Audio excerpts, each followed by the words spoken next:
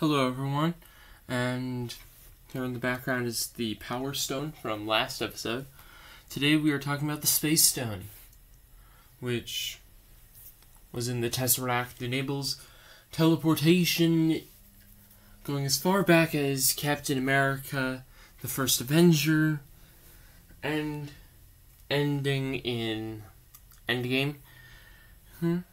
Enables teleportation across pretty much the entire galaxy, it really seems, but it also appears to have had its own, a mind of its own, as it teleported Red Skull hmm, in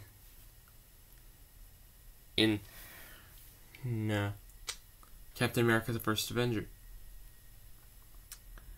So, please make sure to like, subscribe, ring for notifications. ChrisP History, out.